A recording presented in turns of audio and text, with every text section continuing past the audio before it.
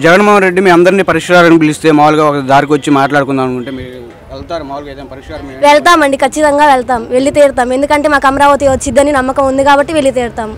మీరు ఇంక వేరే ఏం డిమాండ్ చేయరు. ఓన్లీ మాకు మీకు మాకు అమరావతి అమరావతిని రాజధానిగా ఏకైక రాజధానిగా ప్రకటించాలి. పరిపాలన అంతా అమరావతిలోనే జరగాలి. మా డిమాండ్ అదొక్కటే.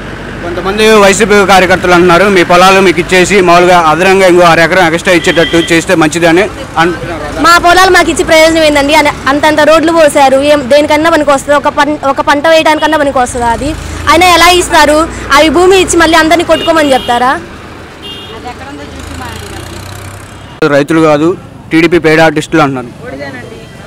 పెయిడ్ ఆర్టిస్టులు అండి. ఒకసారి రోడ్డు మీదకి వచ్చి వాళ్ళు ఎలా చేస్తున్నారు ఏం చేస్తున్నారు అని తెలిస్తే వాళ్ళు పెయిడ్ ఆర్టిస్టులా లేకపోతే రైతులా అని అర్థమైంది రైతులు కాబట్టి వాళ్ళకి మెల్లల్లో బంగారాలు ఉన్నాయి ఫోన్లు ఉన్నాయి అలా ఇలా మాట్లాడితే రైతులు కూడా- రైతు కుటుంబాల నుంచి వచ్చిన వాళ్ళు చదువుకునే వాళ్ళు ఉండరా?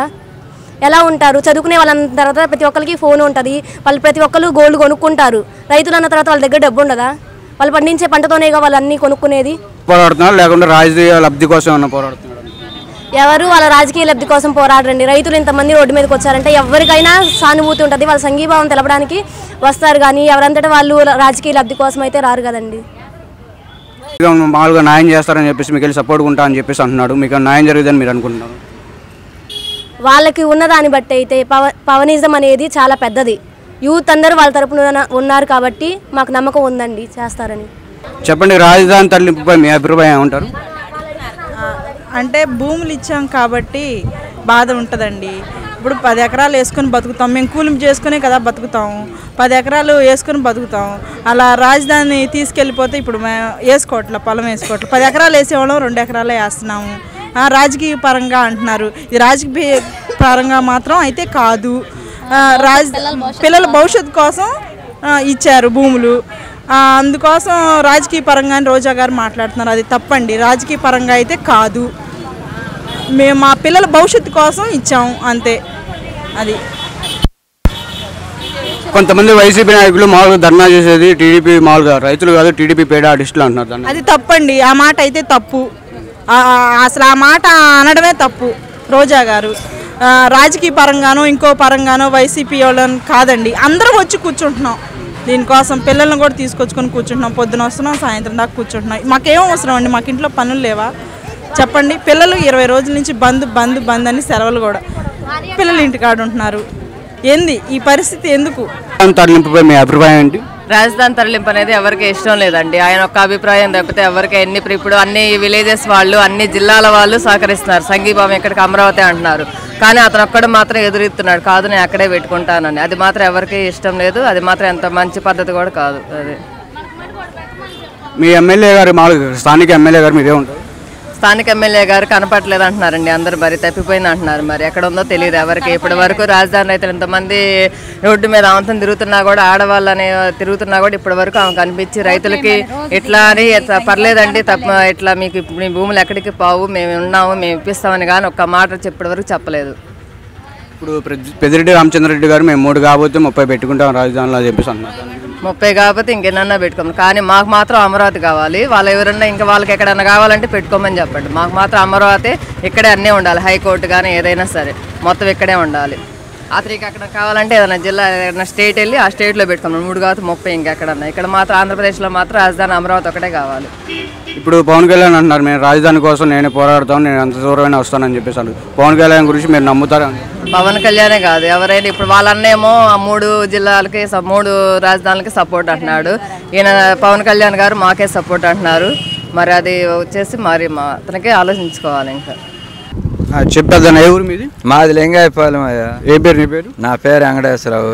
రాజధాని గురించి మీరు ఏమంటారు? రాజధానికి ఆయాల భూములు ఇచ్చేటప్పుడు మోడీ గారు శంకుస్థాపన చేస్తున్నారు. బిల్డింగులు కానీ హైకోర్టు సచివాలయం ఇవన్నీ ఇక్కడే ఉంటాయి అని చెప్పారు. లేకపోతే అంతకుముందు మేము శుభ్రంగా రెండు పంటలు పండుతాయి మాకు.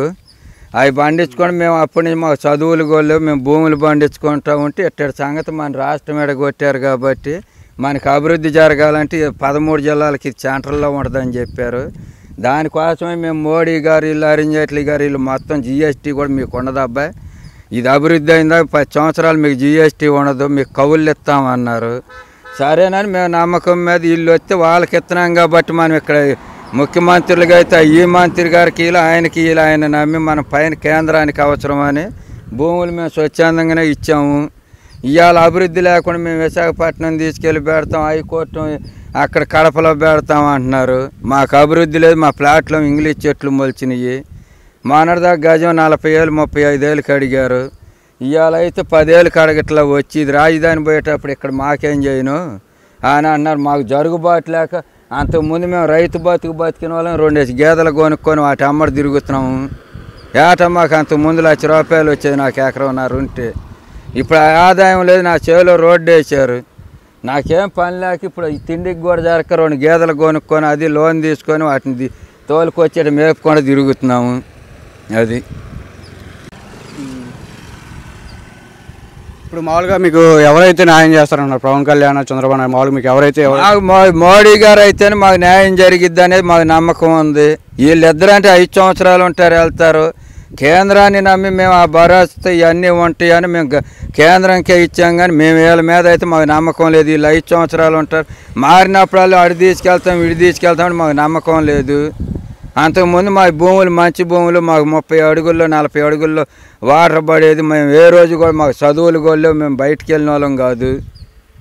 ఇక్కడ మాకు ఈ కరకట్టమటి ప్రాంతం అంటేనే అసలు ఈ మధ్యలో మొత్తం తెలిసి జిల్లాల్లో మొత్తానికి కూడా మాకు ఎప్పుడు కూడా కరువు అనేది కానీ అటు ఇరవై ఎకరం ఉండా కానీ ఇక్కడ ఎకరం ఉండా కానీ మేము ఒక రైతు దగ్గర పని కానీ మా పని మాకే జరిపోయేది.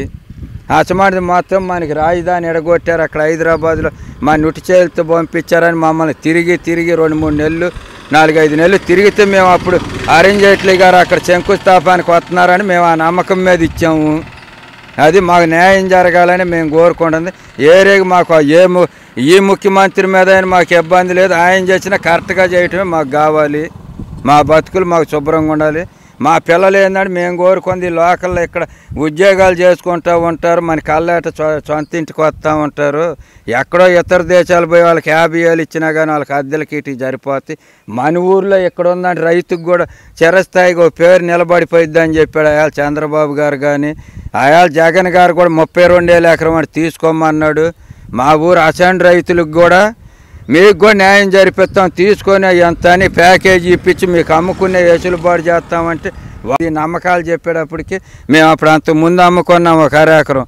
మాకు జిఎస్టీ కట్టాలని మా వల్ల కాదండి అని మీకు జిఎస్టీ లేకుండా చేస్తానని అరుణ్ జైట్లీ గారు వచ్చినప్పుడు చెప్పి అక్కడ శంకుస్థాపన చేశాడు మా ఊరు కానుకొని.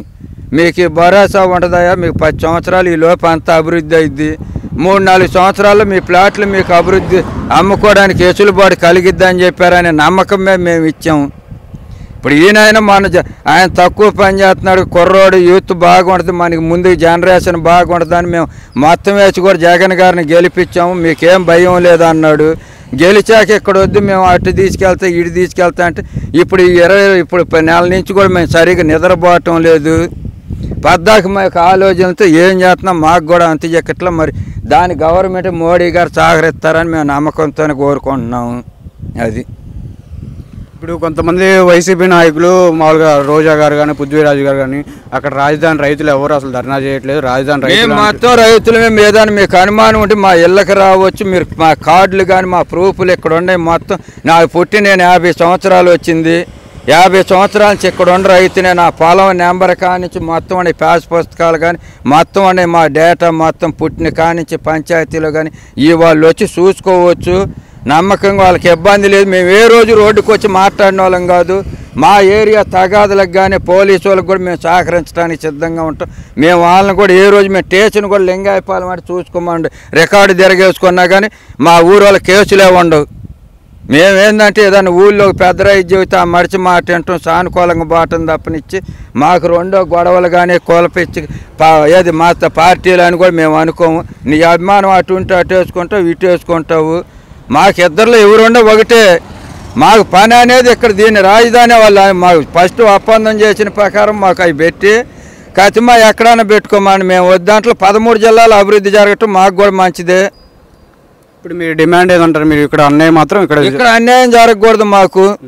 అంతకుముందే మా రెండు కోట్ల రూపాయల దాకా చేసే భూములు గవర్నమెంట్ మన మొత్తానికి రాష్ట్రం మొత్తానికి అవసరమని ముప్పాతికి వాళ్ళకి ఇచ్చాం. పాతికి చెంటికాడికి మాకు అభివృద్ధి జరిగిద్ది.